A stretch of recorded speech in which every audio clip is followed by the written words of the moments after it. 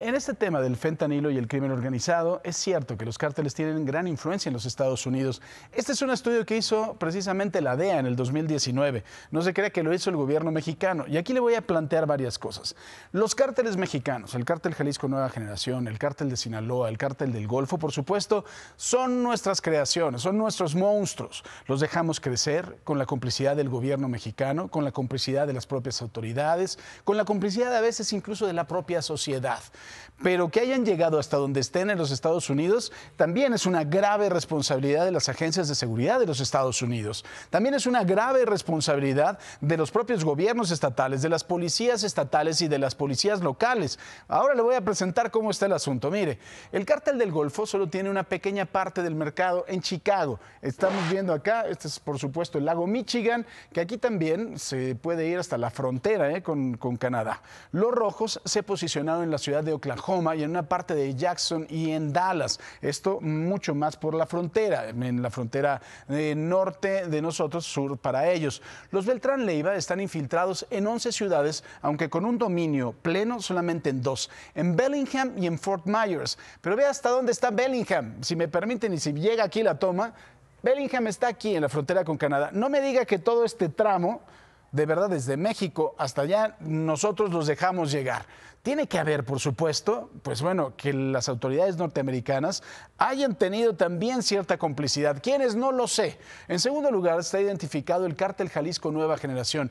Está infiltrado en 23 ciudades. Ve nada más. El cártel Jalisco en 23 ciudades. En aquí, en Greensboro, en Nueva York también tienen cierta presencia. Y ahí lo está viendo en la punta del mapa, también en Seattle.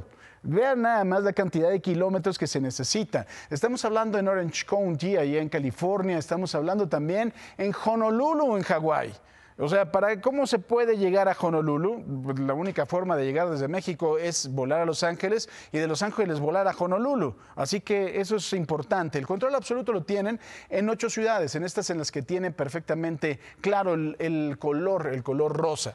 Y ahora vamos a hablar en primer lugar del cártel de Sinaloa. Mantiene el control en 49 ciudades, de las cuales tiene todo el poder en 29, es decir, en más de la mitad. ¿Qué le parece cómo está en Spokane, también allá en la frontera con Canadá, en Milwaukee, en Detroit, en Maryville, en eh, New Haven, en Boston, parte en Nueva York, parte en Washington. Aquí está la capital de los Estados Unidos. Usted me dice que desde aquí hasta acá llegaron solos con el beneplácito del gobierno mexicano o aquí no hacen absolutamente nada.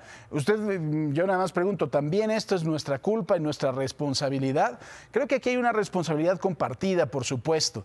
Nosotros tenemos que debilitar estas organizaciones aquí en México porque aquí es finalmente donde tienen el poderío económico, en donde hacen las operaciones. Pero aquí es en donde captan los dólares, ¿eh? Nosotros no vamos a venderlo ahí. No, aquí es en donde captan los dólares, aquí es en donde está el dinero, aquí es en donde está el gran negocio de las drogas. Y por supuesto, tenemos responsabilidad, claro que tenemos responsabilidad. Son cárteles mexicanos, se crearon en México, como le digo, también con el acompañamiento de las autoridades de este país, con la corrupción, con la complicidad de las autoridades de México, a veces, como le digo, con la complicidad de algunos pueblos, de algunas ciudades que están abandonadas por los gobiernos de nuestro país. Pero hasta acá no llegaron solos. Así que este problema, creo que este mapa le puede decir que es un problema compartido, sin duda. Y si no trabajamos juntos, esto va a seguir.